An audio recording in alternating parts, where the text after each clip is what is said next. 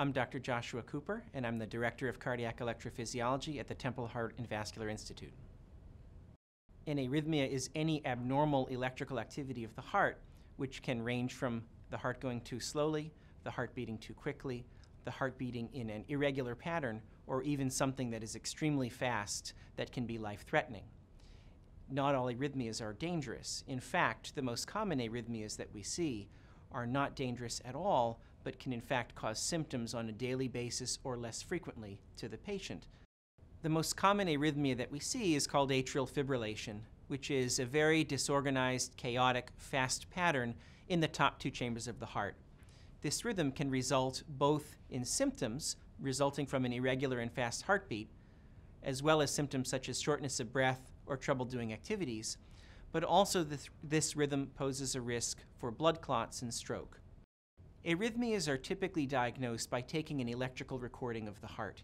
Because we're dealing with the heart's electrical patterns, and those electrical signals can be picked up by recording devices such as an EKG, arrhythmias are typically diagnosed by taking such recordings at the time that the arrhythmia occurs. Because arrhythmias can come and go, a 10 second snapshot, which is what an EKG provides, does not always give us the answer we're looking for. There are a variety of heart monitors that record the heart's electrical activity that can be used for longer periods of time to capture arrhythmias that happen infrequently.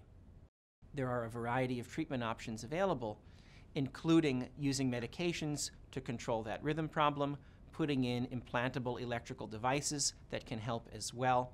And there is a whole series of minimally invasive procedures that are done on the beating heart from the inside called catheter ablations, where specific spots or short circuits can be targeted and cauterized or burned to permanently eliminate that arrhythmia problem.